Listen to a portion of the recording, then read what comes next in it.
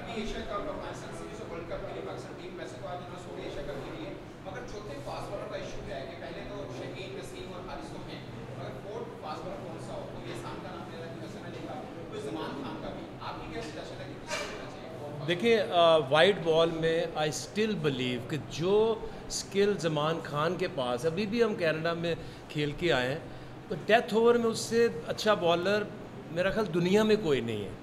तो जो आपको चीज़ चाहिए, वो वो नसीम से मैं उसको ज़्यादा रेट करता हूँ इन इन वाइट बॉल तो आपके तीन बॉलर ये आप कहेंगे, ये आपके कलंदर के बॉलर गिनाए जा रहे हैं। शहीन है हारस है और जमान है। ये आपके बॉलर होने चाहिए, आपकी वाइट बॉल क्रिकेट में first three choices and then you can go down to Naseem Shah. Hasan Ali I don't think so आपको यू नो एक ऑलराउंडर की तरफ़ जाना चाहिए, वो अभी तक फ़हीम की भी ऐसी प्रोग्रेस अभी भी मेरे साथ था उधर कोई नहीं है।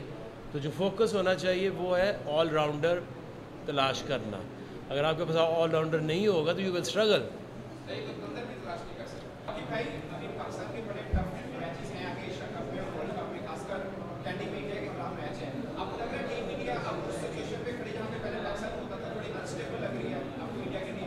यकीनन जितनी पाकिस्तान टीम बैलेंस्ड है और इसके पास ऑप्शंस हैं। और जो प्लेयर्स हैं, उनकी जो एज का जो ग्राफ है, वो बहुत बेहतर है। इंडिया उस स्टेज के ऊपर है कि अब वो नाम उनके बड़े बड़े हैं, लेकिन उनकी फिटनेस और फॉर्म उस तरह से नहीं आती। तो अब इंडिया को स्ट्रगल इंडिया करेगा, फिर नए लोग तलाश करेगा, फिर एक टीम बनेगी। इस दफ़ा बहुत पाकिस्तान के पास अच्छा चांस है कि इंडिया को इंडिया में हरा के आए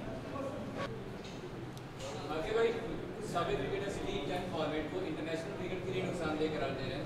कि टी टेन ऐसा फॉर्मेट है जो इंटरनेशनल क्रिकेट के लिए क्योंकि प्लेयर्स उस तरह से उभर सामने नहीं आते। आप एक्सपीरियंस आप समझते हैं कि टी टेन फॉर्मेट का कोई फ्यूचर है या नहीं? ये सेम आ, उनके व्यूज़ थे जब टी ट्वेंटी क्रिकेट आई थी। अ, कोई क्रिकेट आपको ख़राब कैसे कर सकती है? ये जिस तरह से आपकी क्रिकेट है क्रिकेट को जब आप बाहर कहते हैं ना वर्ल्ड का विनर तो बाकी स्पोर्ट्स वाले हँसते हैं। ये छः टीमें आठ टीमों का तुम्हारा वर्ल्ड कप होता है। तो इसको एक्सपेंड करना पड़ेगा। जैसे ही देखें टी ट्वेंटी आई, उसकी ऑडियंस बढ़ी। उसका प्लेयर्स नए नए प्लेयर्स उस फॉर्मेट में आए। इसी तरह से जैसे टी टेन है, इसको देखने के लिए हर बंदे के पास टाइम है। वो जो फुटबॉल के लोग हैं, जो शॉर्ट टाइम के जो जो स्पोर्ट्स है, वो इसकी तरफ़ आ रहे हैं। तो आपको इससे क्या मिलेगा? और चैलेंजिंग बहुत ज़्यादा है क्योंकि इसमें एक डॉट बॉल दो dot ball you can afford तो इसमें आपको बड़ी टफ क्रिकेट है और आपको नए प्लेस मिलेंगे, नए ऑडियंस मिलेगी। तो इसमें ख़राबी मुझे तो कोई नज़र नहीं आती।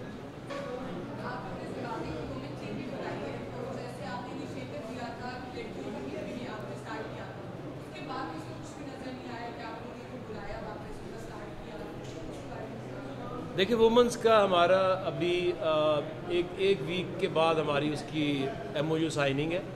हमने सारे उनके ट्रायल्स लिए हुए हैं। अभी भी जो लाहौर में है, जो आ सकती हैं, वो वहाँ पे हमारे वुमेंस भी, लड़कियाँ भी प्रैक्टिस पे आती हैं। प्रोग्राम का हिस्सा हैं। और फिर अभी एक दो वीक के अंदर आप देखेंगे कि उनको भी वही सेम जो क्लास ऑफ़ 23 को लड़कों को एक साल के लिए हम कॉन्ट्रैक्ट करते हैं उनके साथ। इसी तरह लड़, लड़कियों का भी करेंगे। और जिम्बाब्वे की वुमेन टीम भी हमारे पास आ रही है क्योंकि उन्होंने फिर वहाँ श्रीलंका खेलने जा रहे मैं आपको बताऊँ कि इसमें हमने ट्रायल लिए थे। हम जो इसमें जो मिसिंग पार्ट है वो ये है कि ऑस्ट्रेलिया के साथ तो हमने कॉन्ट्रैक्ट कर लिया। ठीक है हमने ट्रायल भी ले लिए शॉर्ट लिस्ट भी कर ली। आगे उनका फ्यूचर क्या है? तो उसके लिए जो अभी अ, हमारे नए चेयरमैन आए हैं उनका जो विज़न है वुमेन को लेके उससे हम काफ़ी इम्प्रेस हुए और हमारी कोशिश होगी ख्वाहिश होगी और हम उनसे रिक्वेस्ट करेंगे कि वो आके ये जो फ़र्स्ट एडिशन होगा वुमेन प्लेयर डेवलपमेंट का वो उसको आने वाले दिनों में इनाग्रेट करें।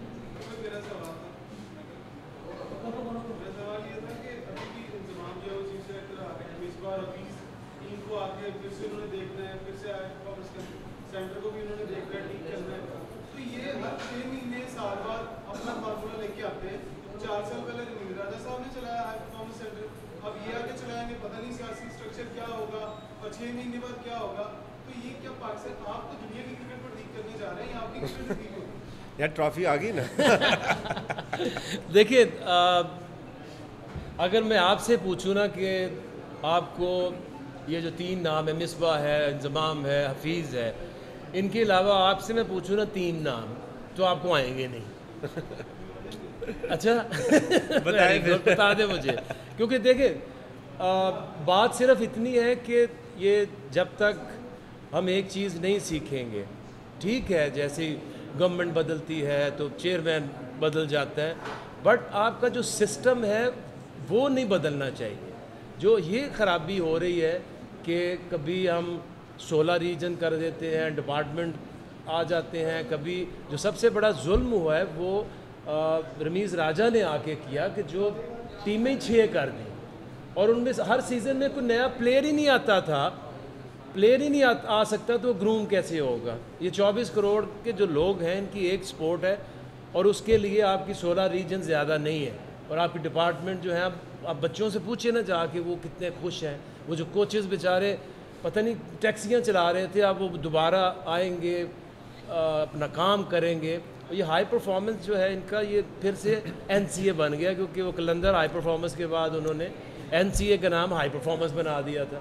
तो नाम से कुछ नहीं हो सकता। ये डेवलपमेंट एक पैशन है। ये आप नौकरी किसी को दे के ये काम नहीं करा सकते। लेकिन आकिब भाई एक चीज़ और है कि आपने जो सवाल किया, देखें, पाकिस्तान में रहते हुए आकिब भाई ने आपको शहीन, हारिस, फ़खर, जमान अब्दुल्ला शफीक, सलमान अली आगा उसामा मीर एहसान ये कितने सारे प्लेयर उन्होंने यहाँ पर रह के आपको दिए। तो ये तो एक बहुत बड़ी एजाज़ की बात है। मैं समझता हूँ पाकिस्तान के लिए कि एक टेस्ट प्लेइंग नेशन जो है वो आके भाई और कलंदर्स के साथ जो है वो वो कोलेबरेट कर रही है टू डेवलप देयर क्रिकेट तो मैं समझता हूँ कि पाकिस्तान क्रिकेट में ऑलरेडी आके भाई ने बहुत ज़्यादा कंट्रीब्यूट किया और अभी भी कर रहे हैं। पाइपलाइन में जो भी हम बात कर रहे थे ताहिर बेग की और दूसरे जो हमारे मिलिंगा स्टाइल बॉलर है वो भी आके भाई ने अभी जो है वो सिलेक्ट हुआ है वो नहीं वो ताहिर बेग जो एशियन गेम्स में पाकिस्तान एक टीम हाँ तो उसमें सेलेक्ट हुआ तो इवेंचुअली तो उन्होंने पाकिस्तान को इन इन दी एंड सर्व करना है ना।